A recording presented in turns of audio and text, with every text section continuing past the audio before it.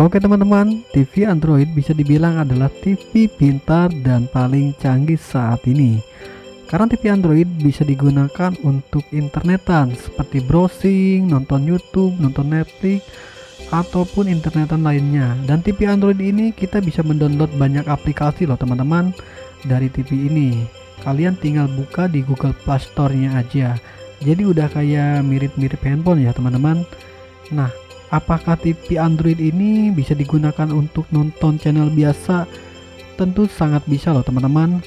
Dan kali ini saya akan memberikan tutorial cara setting channel di TV Android.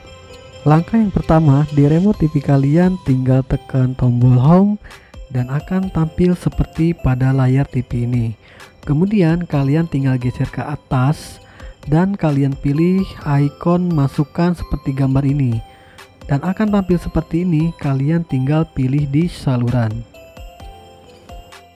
Langkah selanjutnya di remote TV kalian tinggal pilih dan tekan tombol menu dan akan tampil seperti ini teman-teman kemudian tinggal geser ke arah kanan dan kalian pilih di menu setelan dan akan tampil seperti ini kemudian kalian turun ke bawah dan pilih di saluran Kemudian tinggal lanjutkan di saluran.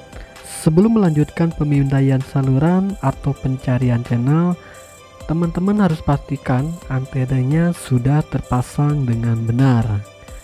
Dan saya menyarankan gunakanlah antena yang bagus seperti antena digital ya teman-teman.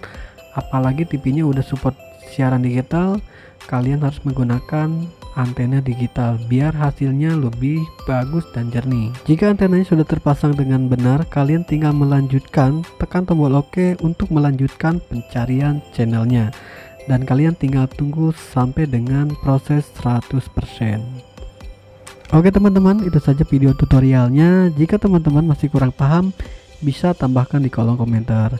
Dan semoga video ini bermanfaat buat teman-teman semua. Jangan lupa support channel ini dengan cara like dan tekan tombol subscribe-nya. Cukup sekian dari saya. Wassalamualaikum warahmatullahi wabarakatuh.